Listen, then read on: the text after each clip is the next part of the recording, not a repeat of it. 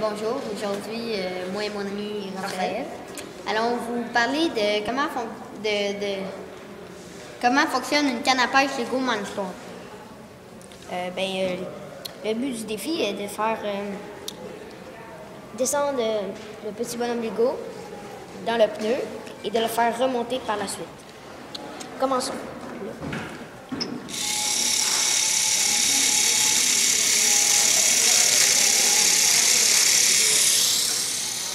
Ça, c'est euh, le bonhomme est en train de descendre et commence à remonter. Comme vous pouvez le, voir, la ficelle est. Comme vous pouvez le voir, euh, la ficelle a, a changé de côté.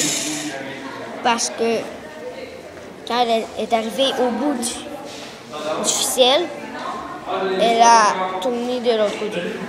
Oui, en fait, euh, tout ce qu'on a fait, c'est qu'on a programmé un, euh, un programme, là, comme ça ici. Et puis, euh, on a attaché, on, a enroulé une ficelle, on a fait un nœud sur cette petite roulette-là. Et après ça, on a attaché au pneu. Puis, en fin de compte, ce qu'on a fait, c'est qu'on a eu qu'appuyer là-dessus pour que ça fasse descendre notre programme du début. Merci!